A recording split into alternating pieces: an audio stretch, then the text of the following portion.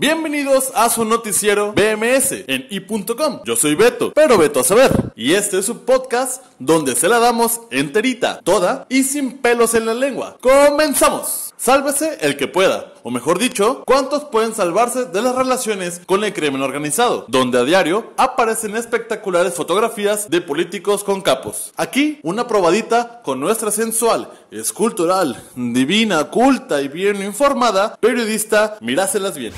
Beto a saber. Bien dicho, sálvese quien pueda. Y pocos se salvarán porque el alcalde de Iguala, el igualado José Luis Abarca, ya ni la chinga, huyó con todo y esposa después de ordenar, según dicen, la desaparición de 43 estudiantes, la muerte de 6 y un madral de heridos. El gobernador Aguirre lo solapa y protege como en su momento el gobernador interino de Michoacán, Jesús Reina, hizo con la tuta. Así es, Beto a saber. Tumbas, tumbas y más tumbas. Suman ya 30 en Iguala, con cerca de 300 cuerpos encontrados surgió el México bárbaro y los bárbaros de México. Qué triste situación. Pero bueno, ahora nos vamos hasta el puerto de Manzanillo, donde el gerente comercial de la Administración Portuaria Integral, API, Alejandro Mellón Galindo, renuncia a su cargo por motivos personales. Pues usted sabe que esos motivos son muy fuertes. Y la nota completa con miráselas bien desde las playas soleadas de Manzanillo. Gracias, Beto a saber. Gracias, Beto a saber.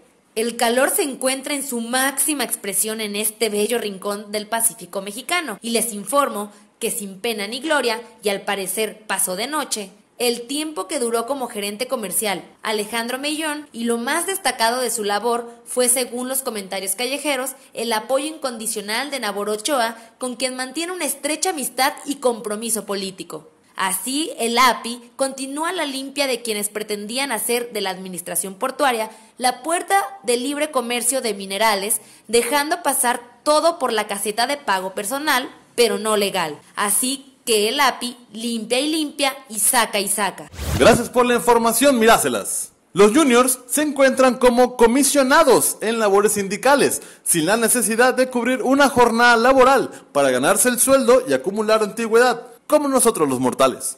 Tal como lo escuchan, el líder del Sindicato Nacional de Trabajadores del Seguro Social, Manuel Vallejo Barragán, así como dos de sus secretarios gremiales, mantienen en nómina y como comisionados a siete de sus hijos, lo que hace que estos juniors de líderes sindicales del IMSS cobren más de un millón de pesos al año. Mientras uno tiene un salario mínimo de 63.77 pesos por día, estos nenes de la casa ganan sin hacer nada alrededor de 16 mil pesos al mes. Pues así es la vida de los que corren la fortuna de ser hijos de papi, lo que nos recuerda a Lady Romero de Champs, paseando a su perrito por toda Europa, con dinero de los petroleros.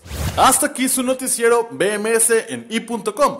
Yo soy Beto a saber y recuerde que tiene cita aquí donde la noticia se la damos enterita, toda y sin pelos en la lengua. Hasta la próxima.